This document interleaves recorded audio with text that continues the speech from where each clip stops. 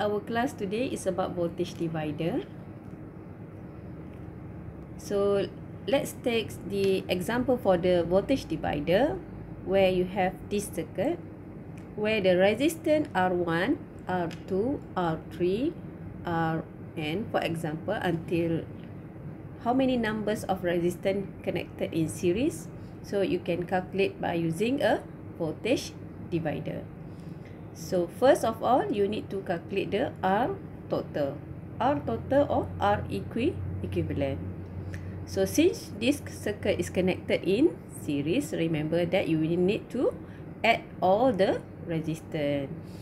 For example, R total here, so it will be R1 plus R2 plus R3 plus how many R between R small n until R Pn. So you will just need to add them, right?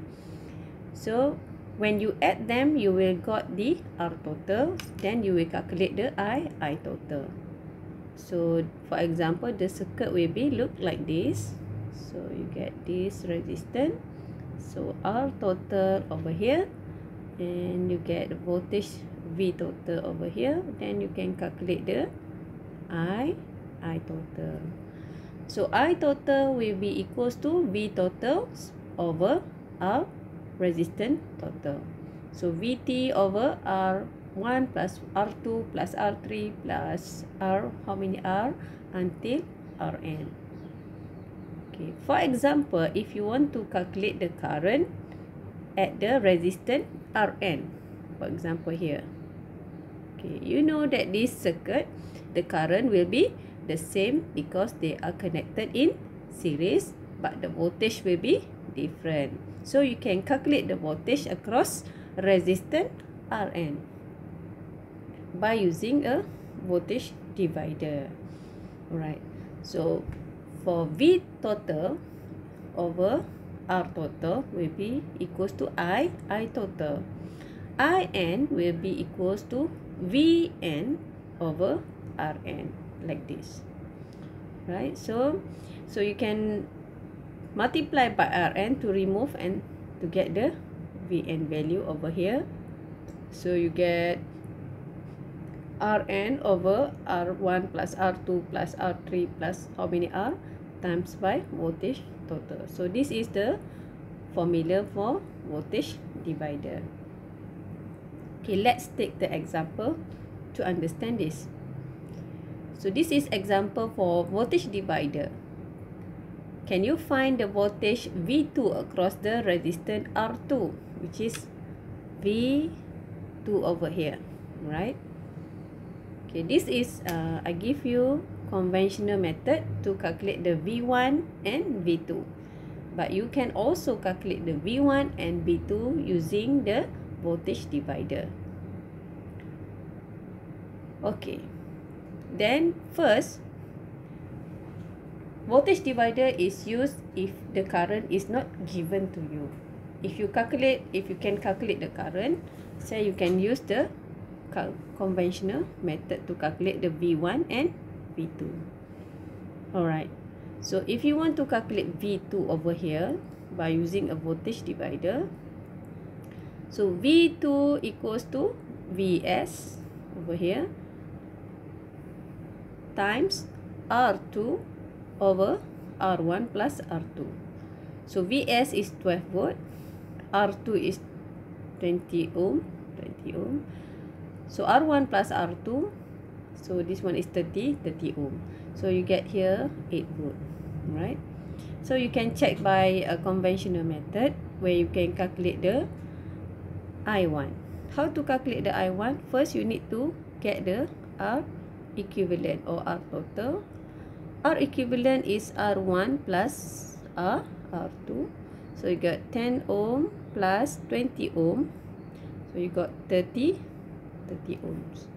So you got 30 ohms here. I1 equals to voltage supply over resistance total. So you got the current I1 is 0.4 ampere. So the current I1 is 0.4 ampere. So the current over R1 and R2 is the same because they are connected in series. So you can calculate the V1. For example, I1 times R1. So I1 is 0.4 ampere times 10 ohm. So you got 4 volt. V2 is I1 times R2. So you got 0.4 ampere times 20 ohm. You got 8 volt.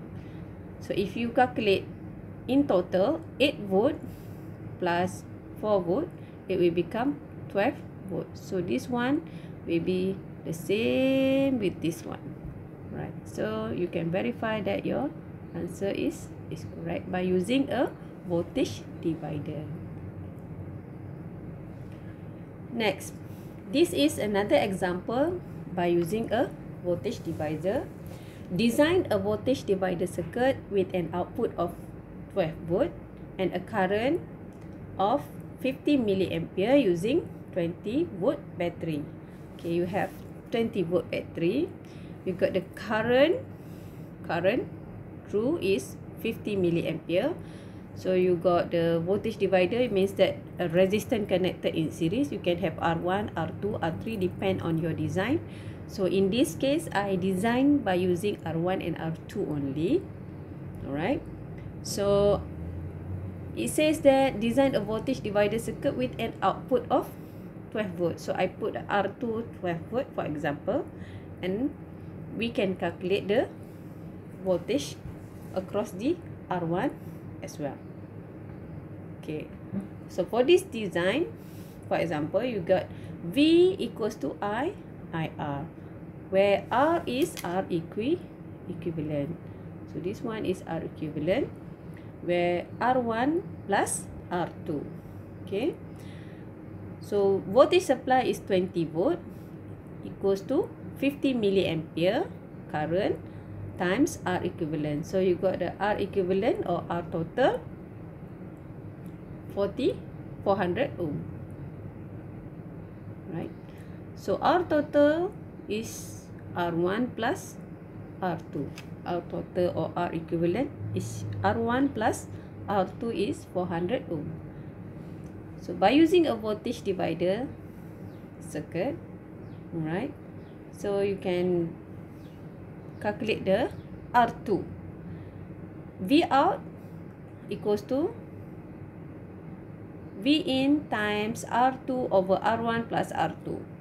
So you know V out is 12 volt. So you get V in 20 volt times R2 over R1 plus R2 you know this one is 400 ohm from here. And then you can calculate the R2 R2 so you get R2 is 240 40 ohm. So R2 is 240 ohm. So you don't know the value for V here and also resistance value here. Okay next you do the calculation. R1 plus R2 equals to 400 ohms you know from the previous. R1 so you can calculate the R1 R1 is 160 ohm. So 160 ohm and 240 ohm. So you got two value already and this one you already know is 12 volt.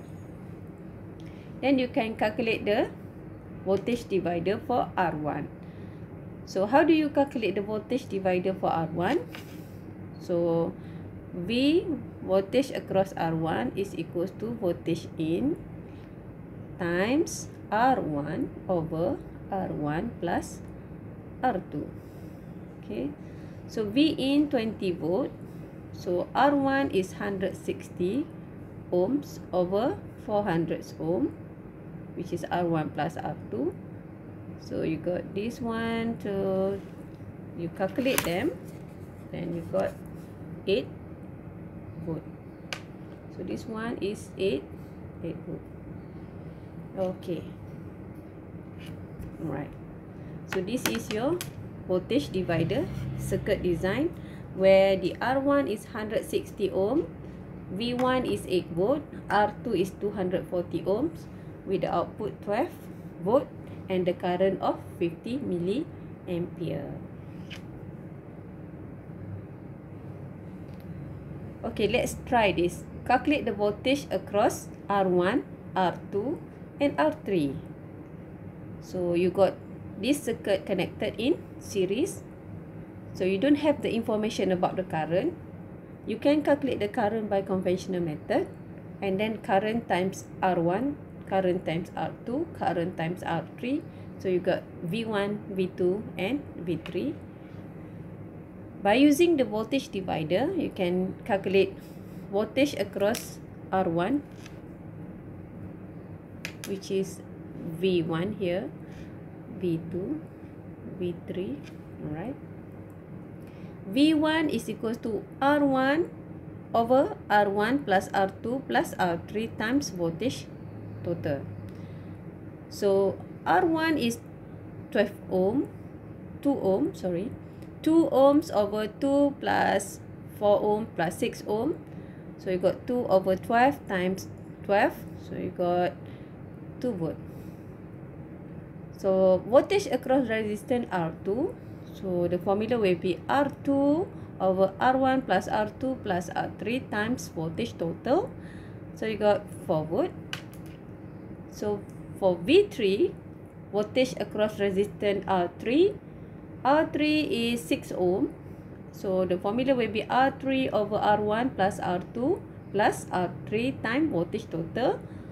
So R3 is 6 ohm. 6 ohm divided by total 12 volt. 12 ohm sorry times 12 volt so you got 6 so if you calculate them if you add 6 plus 4 plus 2 so it will become 12 volt so it's the same with the voltage supply so the answer is correct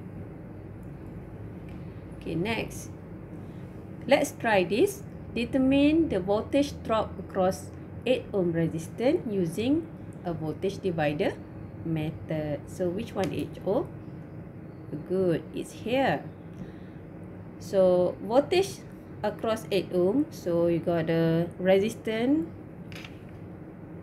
voltage 8 ohm equals to resistance 8 ohm divided by resistance 12 ohm add resistance 6 ohm plus resistance 8 ohm plus resistance 4 ohm times by voltage supply. So voltage supply is 15 volt. So resistance 8 ohm is 8 plus 12 plus 6 plus 8 plus 4. 12, 6, 8, 4. Then you get 4 volt. So this is the calculation using a voltage divider. Okay. Now take another example for voltage divider. Determine the voltage across 15 ohm resistance by using voltage divider rules. What you need to do is in this circuit, the resistance R3 and R4, R3 and R4 they are connected in parallel. When they are connected in parallel, you must make them in series first. So remember that resistance in parallel, you need to do 1 over 1 over 3 plus 1 over 15. So you got 2.5 ohm for the R equivalent. So if you simplify this circuit, so it will become like this, right? So this one is 2.5 ohm. So you got 5 ohm, 5 ohm, 25 ohm, 25 ohm. So you want to calculate the voltage across 15 ohm resistor. So I think this one is not 15 ohm resistor. Alright. Okay, 15 ohm resistor. So 15 ohm resistor is here. So you know that the voltage for the parallel circuit. So this one, if you get the voltage here, So the voltage here will be the same with the voltage here, right? Okay. So first you need to calculate this one.